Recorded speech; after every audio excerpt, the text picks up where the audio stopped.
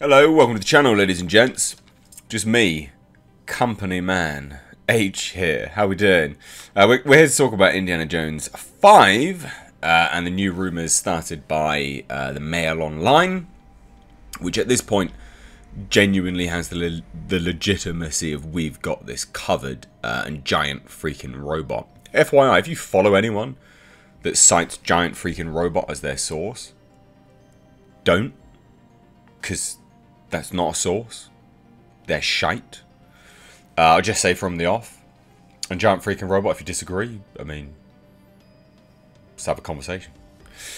Uh, but the Mail Online is uh, going to be starting a wash with these rumours that Indiana Jones, Harrison Ford, is going to be replaced by Phoebe Waller-Bridge. Uh, in fact, that is actually the headline that they're running with.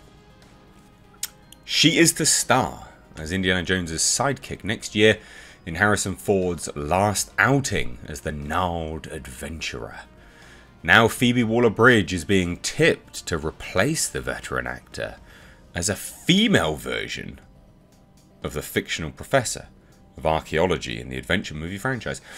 Now, tell me, I think my dog's just moved, that's great, I can move my, uh, here he is, Jasper Cameo.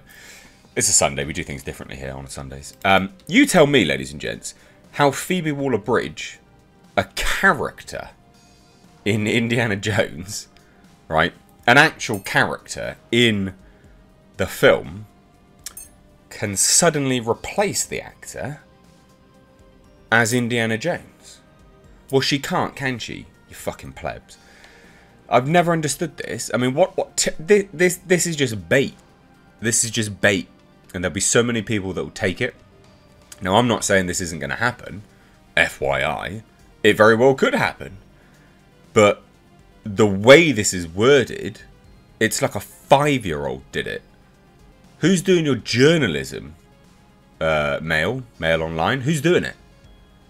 Now, Phoebe Waller Bridge is being tipped to replace the veteran actor as a female version of the fictional. How can she be a female version of the fiction uh, of how can she be a female version of Professor Indiana Jones? How can she? She's already a character. You brain melt. And because of the wording, because of the, the insincerity behind the journalism here, I call bollocks on this. Uh, and I could be wrong, but I'm just going to come out and say it. Uh, the film industry is awash with rumours that the Fleabag star will take over as the main Indiana adventurer, making her the first female lead since the Disney made movies began in 1981 with Raiders of the Lost Ark. They weren't Disney made movies back then.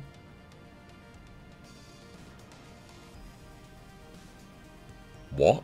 They were Lucasfilm, weren't they? I don't think Disney had a hand in them. I could be wrong. They were Lucasfilm.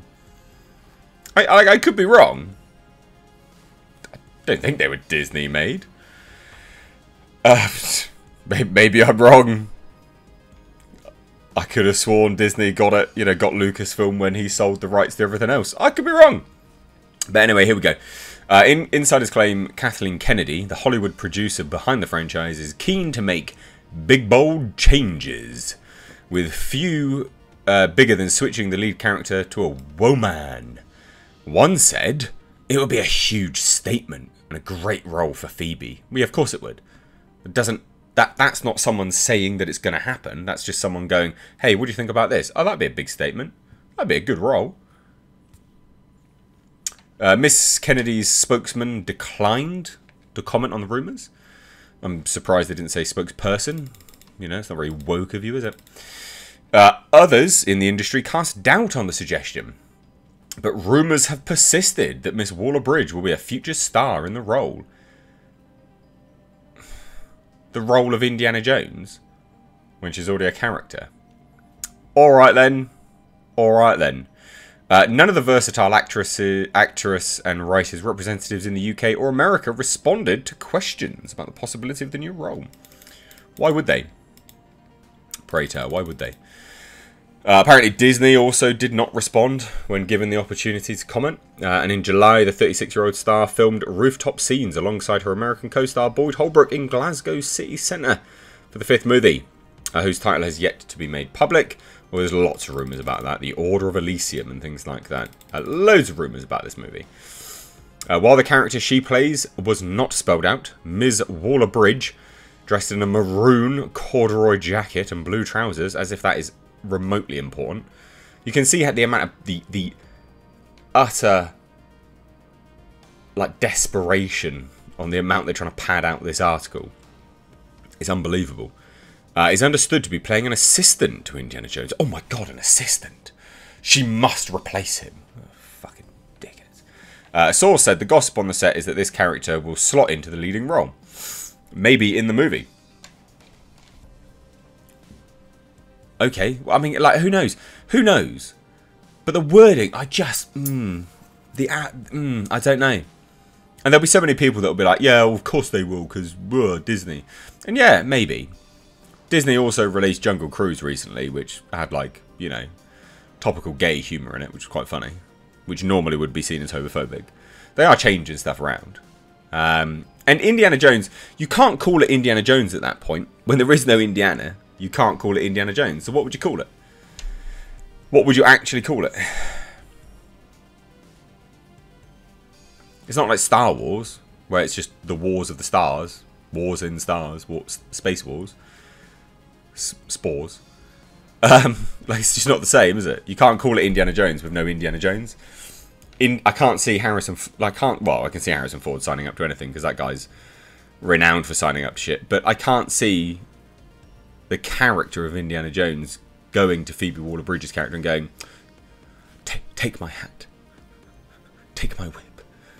You're Indiana Jones now." Like, fuck off. Anyway, in 2019, uh, double Golden Globe winner Ms. Waller-Bridge co-wrote the screenplay for No Time to Die, the 25th James Bond film, along with Neil Pur Purvis, Robert Wade, and uh, Cary Fukunaga. Uh, bosses said she was brought in to introduce more humour and the offbeat style of writing that has earned her a reported 22 million in less than two years, which is epic. Like, good for her. Um, but I just, I, I cannot see this being true. She's going to replace the veteran actor as a female version of the fictional professor. You're gonna have to you you'd have to do some serious writing to get that done. But I tell you what, all the usual sorts will be reporting on this, loving it.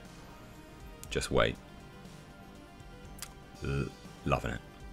Bet they get their sources from uh, Giant Freaking Robot too. Let me know what you think though. The Mail Online, huh? Mail Online. Hope you had a good weekend. Take care.